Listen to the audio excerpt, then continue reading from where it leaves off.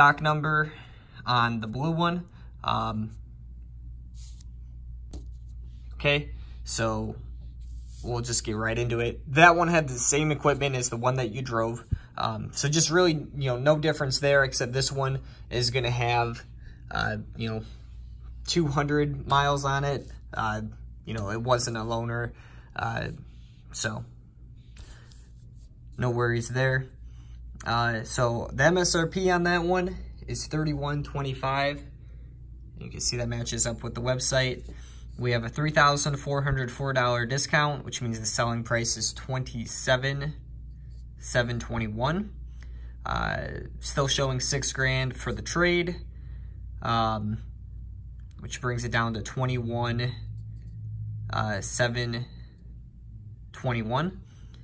Then $31 gov fee for 148.75 doc fee brings the subtotal to that. And then we have taxes, trade payoff, and then the rebate.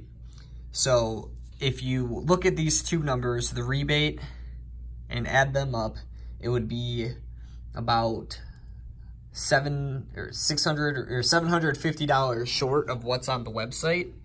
So last month it was, uh, you know, they just had rebates, then you qualified for everything. Uh, this month they have down payment assistance. So here's the thing, uh, GM, if you want the full discount that's online, you have the finance through GM Financial.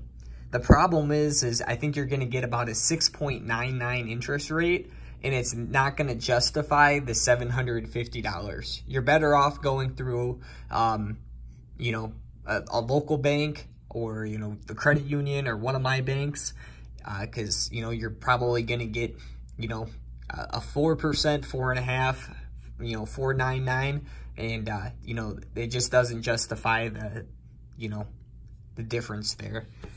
So total balance due would be, you know, your out the door number. Um, I, you know, I can figure it up any which way you want, but I just wanted to, you know, kind of go over this for you.